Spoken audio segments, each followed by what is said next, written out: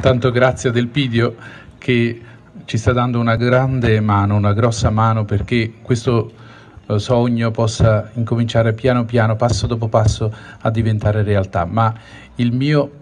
primo grazie oggi voglio dirlo a voi e il senso di questa visita con voi e per voi eh, va proprio in questa direzione. La gratitudine della Chiesa di Caserta, l'ho detto già nel Te Deum del 31 dicembre, alle associazioni che in tutti questi anni, più di due decenni, hanno tenuto vivo l'interesse della città su questo bene che rischiava ancora per tanti tanti anni di rimanere chiuso alla città di Caserta. Quindi davvero grazie. Grazie perché non vi siete stancati, non vi siete rassegnati, non vi siete spenti nell'entusiasmo e nel desiderio di ridare questo bene alla città ed è questo l'unico nostro obiettivo, quello di rimettere a disposizione della città, dei casertani e non solo, questa meravigliosa, straordinaria area, circa 33 ettari. Vedervi questa mattina mi, davvero mi emoziona perché vedendo voi in qualche modo io vedo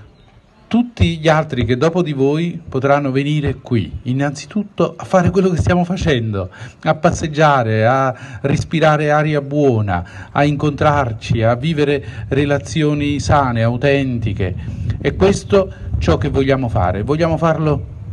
nel migliore dei modi possibili e pertanto stiamo dando vita ad una fondazione, abbiamo fatto diversi passi importanti e con l'Istituto Diocesano Sostentamento del Clero, di cui è, come sapete, presidente il nostro carissimo Don Antonello, stiamo eh, dialogando perché nelle prossime settimane, ma si tratta davvero di, di poche settimane ancora, si possa formalizzare anche una, un protocollo per cui la diocesi attraverso la fondazione verrà a um, poter prendere eh, in uso questo bene che noi vogliamo che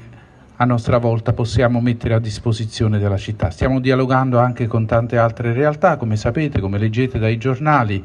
nell'unico interesse che questo luogo non sia più un luogo di morte.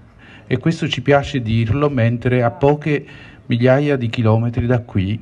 si uccide, si fa la guerra. Anche qui purtroppo, devo dirvi, quando sono venuto un po' di tristezza mh, mm, mm, mi è nata perché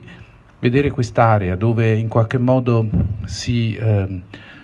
preparava la guerra, qui mi hanno detto una volta addirittura c'erano 1200 carri armati in questo luogo dove si pensava alla difesa. E lo, mi piace sottolinearlo perché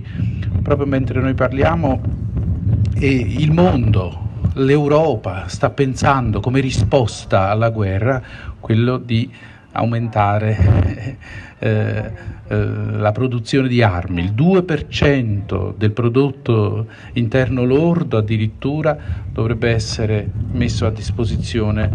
per promuovere ancora di più gli armamenti. Papa Francesco più volte in questi giorni